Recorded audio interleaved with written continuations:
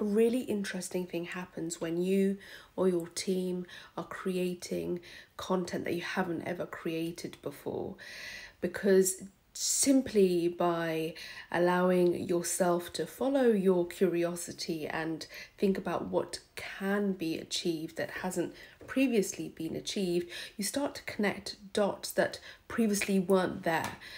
And that's the wonderful experience of being creative within your role and your function, whether it's public relations or content production.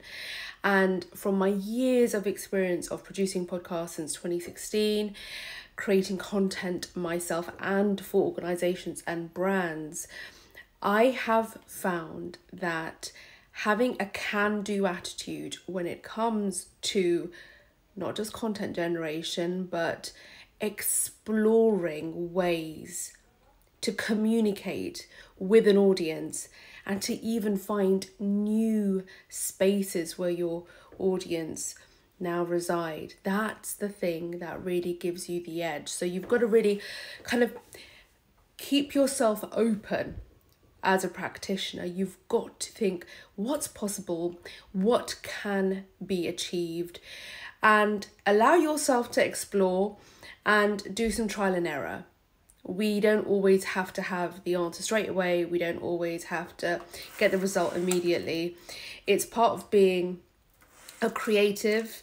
Um, it's been my experience being a creative, whether it's in music, production, podcast production, creating comms for clients, for an organization I worked for.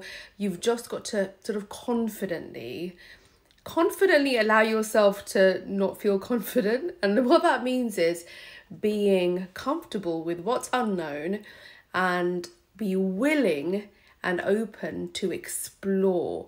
Really follow your curiosity, remain open, and see what new dots you can join as a practitioner and as a team.